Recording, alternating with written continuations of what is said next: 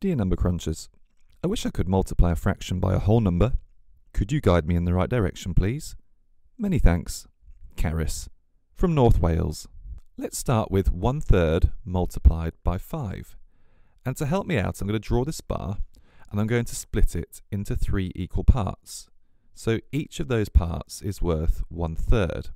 But I want to multiply by 5, so I need to draw another bar, and I'm going to split that into thirds.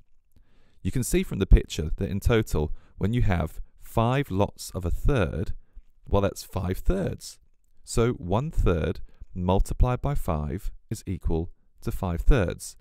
Or, as a mixed number, 1 whole and 2 thirds. Let's take a look at 2 thirds multiplied by 5. And what you can see is happening is I'm starting to add on 2 thirds, 2 thirds. I'm going to keep going until I've done that 5 times. 2 thirds multiplied by 5 gives me a total of 10 thirds. Or if you like, 3 wholes and 1 third. Let's take a look at a few examples without the pictures. So 2 thirds multiplied by 5 is 10 thirds. 4 fifths multiplied by 2 is 8 fifths. 3 multiplied by an eighth is 3 eighths. And 7 multiplied by 2 thirteenths is 14 thirteenths. What's going on here? Well, if you look closely, when you multiply a fraction by an integer, you multiply the numerator by the integer, and the denominator just stays the same. Let's take a look at a few more examples.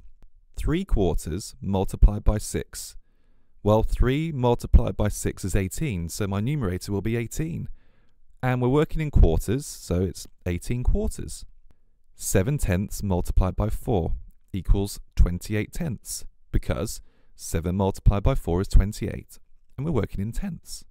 2 multiplied by 4 ninths is 8 ninths, because 2 multiplied by 4 is 8, and we're working in ninths.